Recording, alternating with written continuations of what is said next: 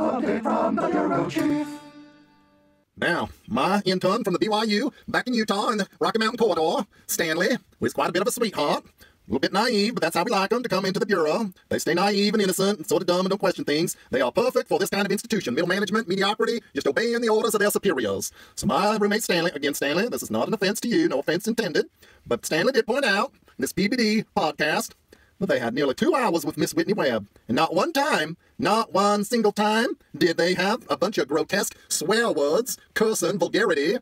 Now that is not to my liking.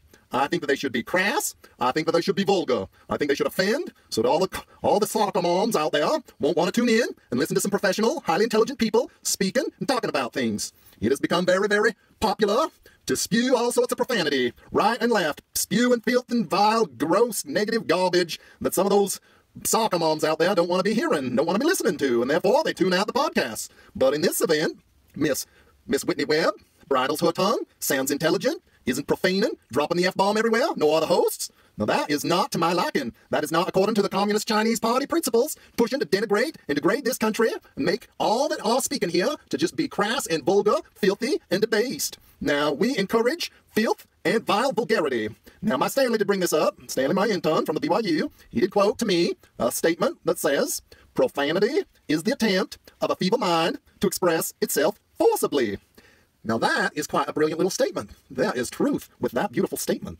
I love to see the NPCs. I love to see the people promoted in the media and the alternative media and the podcasting and the TikTok videos and everywhere else. Just blankety blank, blank, blank everywhere, right and left, just thinking they are so liberated as they spew their F bomb for every noun, adjective, and verb. They are dummies. They are dummies, have not bridled their tongue or their mind to learn how to speak effectively and in polite circles. And they limit themselves. And we are this Bureau, and as much as they have truth to share, we like that their purview, the things that they share, are limited and thwarted because they have such potty mouths, because they dredge into the gutter of filth to fill up their vocabulary.